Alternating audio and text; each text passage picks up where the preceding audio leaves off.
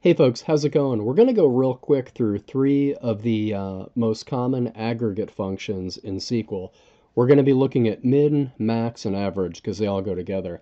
And don't worry, I'm actually going to make the code a lot bigger and easier to see, especially if you're on your phone. I just wanted to go through real quick and show, if you stay till the end, all the things that you'll see. I'm going to show you how to do the um, aggregate functions by themselves. I'm going to show how to do it with a group by, that's here and here. And then lastly, I'm going to show you analytical functions, how to, or what people call sometimes window functions with over and partition by. So there's a lot that we have to go through. So to start, let me move this thing up here a little bit and let me, one, two, three, four, five, there. That should make it a little easier to see. The first thing I'm going to do is select from this table, okay? It's a real typical employee table. You got the name, you got the department, you got the salary. Okay, well, how does this work? Okay, if I was to do the max salary, without a where clause, what's going to happen is it's just going to show me the biggest salary in the table. 898,000. How would you like to make $898,000 a year? Well, better start learning how to code in SQL. and if you already know, you got to learn more, okay? Uh, the min function, this is going to be really depressing. It shows the lowest salary in the table, 18,000. Hopefully you're making more than that. Okay. And then last but not least, there's the average. And this is real world, so the average, you notice, is not halfway between the min and the max. And in most companies, that's true too. Okay, so that's how these work by themselves, without a where clause, you know. They, uh, they just basically look at the whole table. Well, now what I want to do is I want to show you how to do a group by. Okay, now a group by is different. These are three different group bys. I'm going to show you one at a time. What this does is I'm going to say, um, look at the end here. It says group by department. Okay, what that means is I'm going to be showing the department, which is just a field, not an aggregate function, and then the salary, the max salary. So it's going to show me the biggest salary in every department, and it's only going to show one line for each department. So boom. Advertising, the biggest hitter makes 32,000, cafeteria 46, HR 81, and it goes all the way to hey, software, quarter million, woohoo. So anyway, um, that's how that works. Now, the min does the same exact thing, except it's the lowest salary. This is going to be super depressing. Yeah, just look at those pitiful numbers. But look, software, they still make over a 100,000. Everybody there makes six figures. Yee And then average works the same way. Every department, one time, and then there's the average figure.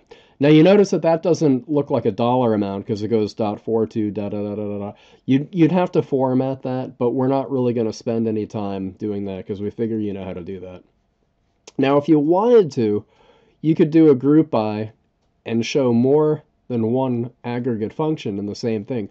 Basically, what I'm doing is I'm taking all three of these queries and I'm rolling them into one. I just indented it differently for readability, okay? because otherwise it would have went off the screen and I'd be, you know, scrolling back and forth. Forget that. So I'm just going to hit that. And then it shows everything together. Now you can probably see why group by could help you make a really cool report, you know, because without doing any heavy lifting, you're like, here's the max, here's the min, here's the average, have a nice day. Okay, that's all well and good. But in the real world, if you're going to go to a job, I don't mean like, you know, an interview for a full stack job, but if you actually go for a SQL job, meaning you're going to be using SQL Server most of the time. You know, like maybe it's, you know, for data warehousing or what have you, but, you know, or reporting or you know, whatever, whether it's, you know, SSRS or SSIS or whatever it is, you have to learn analytical functions. An analytical function is basically an aggregate function like max, hello, or min, or average along with the over word and then something like partition by. Okay? Um, the reason you have to know these is they have a lot of firepower when it comes to functionality without writing a lot of code. Now, if you've never seen one of these before, this code is going to look very strange to you, and it probably gives you a headache to see it. Probably even more than my voice does. Well, that's probably even. But anyway, what this is going to do is it's going to do some really amazing stuff. Uh, are you familiar with the concept in returning stuff like a running total? That's actually every time you look at your bank statement or a, a credit card statement, it has a running total. You know, it has a starting balance, and then every time you have a credit or a debit, it changes the amount. So, you know, everything affects the row before after it. Let me show you what this looks like before I talk you to death, okay? Okay. You notice it says partition by department in all three of these. Uh, that's returning a field called maxsal. That's returning a field called minsal. And of course, this is turn, returning one called avsal. See? Maxsal, minsal, avsal. Real creative names I came up with, I know. The reason they're also called window functions is because think of this as a building, and believe it or not, think of this as a window. I'm going to go through this really quickly. What it does is it organizes the information. I'm going to move this up. It organizes the information, in this case by department. It partitions it by department because you asked it to. So here are all the salaries for this department um, for advertising. They're not in uh, numeric order. They're they're in name order because it says order by EMP. This is EMP. So we've got 18,000, 32, 27, and 32. But what this does is it doesn't give you the max for the whole department. It only starts with the first record and it looks at the first record. Well, that's 18,000. So the max is 18 and the min is 18 and the average is 18. But remember, it's a running max and it's a running min and a running average. So that means when you get to the second record, now it has to look at two records for that department 18,000 and 32,000. Well, duh, 32 is the higher and 18 is the lower. And if you add them together, you get 50,000 divided by 2, so it averages to 25. Easy peasy. When we get to the third record, now 32 is still the max and 18 is the min. But now the average is this funky number because it's these three numbers that don't divide by 3 too politely. Okay? Great interesting, and the same thing happens with the last row. Nothing else is really changing. I mean, the average is changing a little bit, uh, but the max is still 32 and the min is still 18. Great. When you get to cafeteria, the odometer starts over. For example, the first record is 31,000, so the max and the min and the av, everything is 31,000. But when you get to the second record, now it's 23. Well, 31 is still the max, but now 23 is the min. And when we average these together, of course, we get 27. We come all the way down to this last one and see, you know, every time you add another record, it has to take into account everything in that department that in the current record and the one that came before it. Now we get to HR, same thing. It starts over again. 81,000, it's going to say 81,000 everywhere.